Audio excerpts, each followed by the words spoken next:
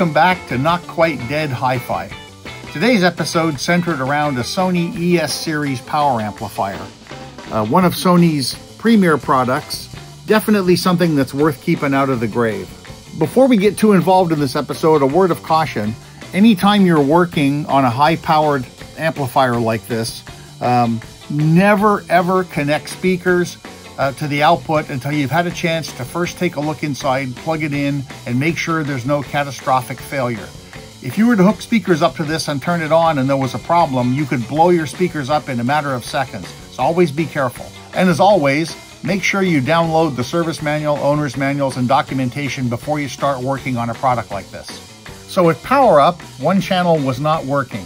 And in fact, the protection circuit had cut on for safety, Doing some measurements, indeed there was DC voltage present on one output. Good thing we didn't hook speakers up. If you look at the schematic, you can see the output transistors, and that's where the voltage is measured. Uh, we had about four volts there. Um, if we'd hooked up speakers, it would have been catastrophic. So looking at the schematic, this is a very simple amplifier. Uh, we have an STK series device here that has most of the preamp functions, and then we have driver transistors output transistors, and a bias transistor. Probing the circuit, and what's really nice when you've got a stereo device that has one channel working and one channel not working is you can compare the two. So looking at the, the, the two channels, I discovered that the bias voltage was missing for the, the defective channel. Um, using this test device, this will test transistors, resistors, capacitors, all kinds of electronic devices. I was able to determine that the output transistors, the driver transistors, the bias transistor are all working fine. So the problem must be earlier on in the signal path. Using the test meter, I was able to trace back to this uh, STK series part. And if you look at the, the schematic here, um, you can see there's two output pins, 10 and 11, that have no voltage on them.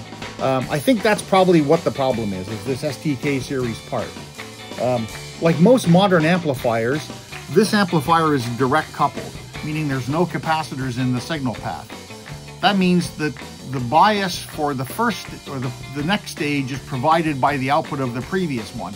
So I'm guessing that because these STK devices have no output on them uh, for this defective channel, that's what's causing the bias to be missing on the output stage. So these STK devices were made by Sanyo which I find kind of weird when you're talking about a high-end audio product like this, because they're kind of a lo-fi component. Um, but they were pretty much at all Japanese amplifiers, receivers made back in the 70s and 80s because they were cheap and they made the design very simple. Um, finding replacements for these is challenging. Uh, they haven't been made in probably 20 years, and most of the ones you're going to find on eBay online are actually fakes. Uh, there's a lot of money to be made fixing these old amplifiers, and it doesn't surprise me that people try to make will make fake versions of this. I was lucky and I found a seller who had inherited an old uh, stereo repair business, and I was able to buy two of these. I'm pretty sure these aren't fakes. So the new part's already installed, you can see it here. Um, pretty easy, just a matter of a few screws and this circuit board came out. Um, I like to use a vacuum desoldering tool on integrated circuits like this, larger devices, just makes the less chance of damaging the circuit board. Um, the part's installed, and I'm gonna cut ahead a little bit here and tell you that that was the problem. Uh, the amplifier now works good as new. We rescued it from an early grave. So now we've got this guy working. The last thing we need to do is set the output bias um, very important to do in a power amplifier. If the bias is too high, you're going to dissipate heat for no reason at all. If the bias is too low, then the amplifier may have distortion uh, when you're listening to music. So I'm going to hook up these test probes here to the, the test points inside, and uh, we'll be right back. This is the importance of getting the service manual ahead of time. It's going to tell you how to make this bias adjustment.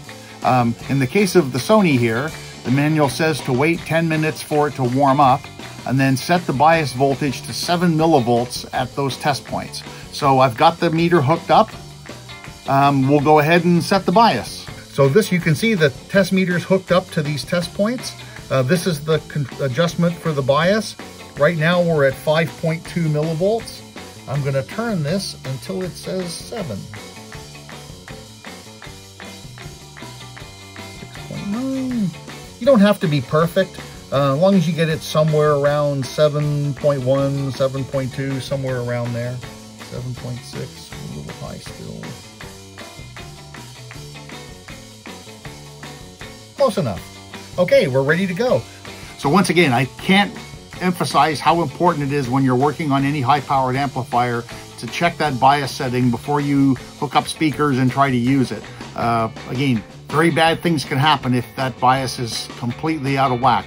In this case, we've got it set. We're right around our 7 millivolts. I've hooked up some speakers, and I have to say, this sounds really, really nice. Um, definitely a vintage piece that was worth saving from the grave. So, another successful rescue. We've kept this guy, he was near death, and we've brought him back to life. For more information on this amplifier, you can visit our website, notquitedeadhifi.com. Again, by clicking the link in the video or the link on the page underneath where you're watching this. Thanks for joining us. Have a great day, and we'll see you later.